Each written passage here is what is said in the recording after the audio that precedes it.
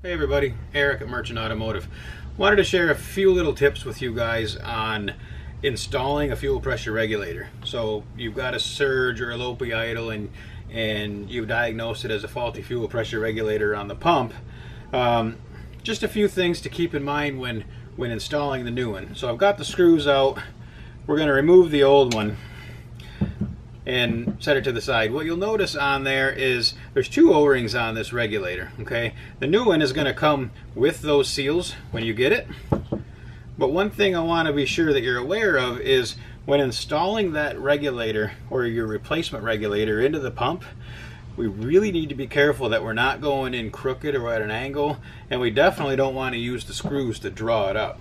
The reason for that is we're going to damage these O-rings. So you've got a brand new regulator you've just put in, the O-rings get damaged, you get the truck together, and now your problems are still there, or you've got other situation, um, maybe not even, it might not even start.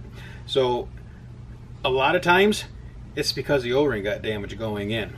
These regulators are right straight from Bosch. This is not a cheap aftermarket copy, so I have very high confidence in the regulator itself not being the issue.